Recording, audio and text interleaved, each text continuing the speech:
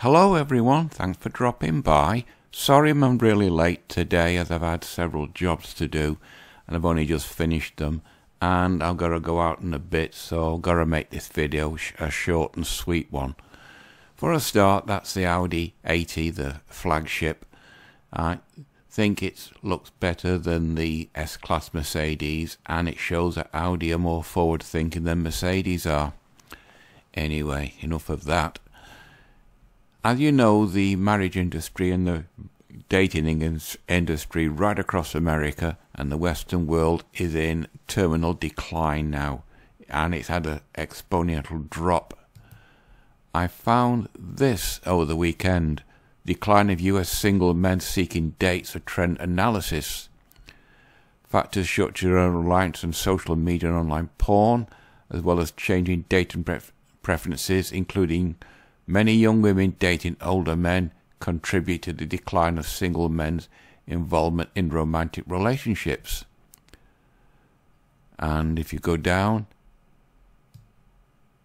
the influence of social media, particularly dating apps, has accelerated the issue of fewer viable men for relationships. It has shifted the way people meet and connect. And this is the kicker Women are much choosier than men when it comes to dating, resulting in a lack of opportunities for single men.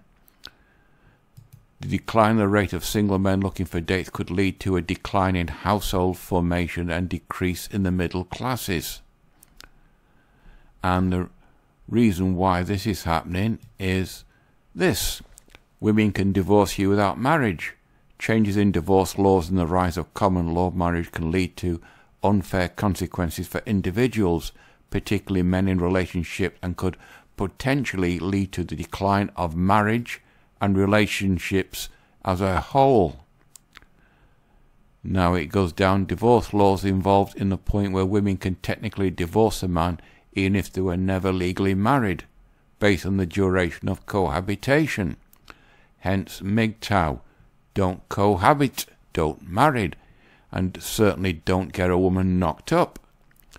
Changes in the law regarding common law couples living together have led to situations where individuals can be forced to pay alimony even if they were never married or living together.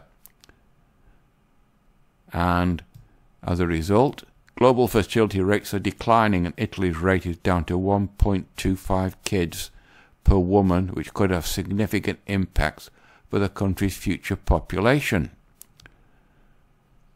Now, many men face unexpected consequences in their relationships, even if they don't currently feel threatened, as most women enter political office and sent to create laws that punish males. Now, the re- reacting to all that is this. There's now more unmarried women than unmarried men in America and this was done on 7 September 2023. This is the overall ratio of unmarried adults in the United States was about 90 men for 100 women. The 30 to 34 age group, which is their prime working age, had the highest ratio 121 men to 100 women. You could say that those guys in the 30 to 34 age group have seen what effect the divorce industry has had on family members and friends, and they decided they're not going to go down that route. So that is the MGTOW effect. And then in the article, the unmarried population includes people aged 18 and over who are never married, widowed, or divorced, regardless of their sexual orientation ratios of unmarried men and women matter because people enter romantic relationships to select a pool of eligible candidates available to them, often called the marriage market. The ratio of unmarried men to women isn't the only factor that affects finding a mate, it's a critical indicator of potential mate availability among those interested in opposite sex partners. And then we have several graphs various things in America, with Alaska naturally being the highest ratio of unmarried men to women. and then it goes down. The racial groups, rise of unmarried men to women by age, and then it's the, similar to what was at the top there. Labour markets, unma- unmarried ratio of men and women aged 18 over by race and Hispanic origin and state, depending where you are in America. And then we got various articles.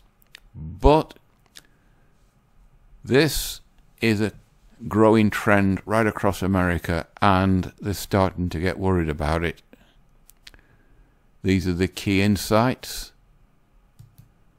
And the reason why is women can divorce you even if they're not married and take off your stuff. Sorry, it's a bit quick, this one, people, but as I said, I've had jobs to do and it's getting on now. It's almost three o'clock over here in Britain, so I naturally put these links below. This is just something I more or less threw together to make a video. So, sorry it's a bit iffy. I'll see if I can find anything more on this for next week, but for now, you know the routine. Like, dislike, etc. It's completely up to you. So, until next Monday, that's it for this one. Bye bye.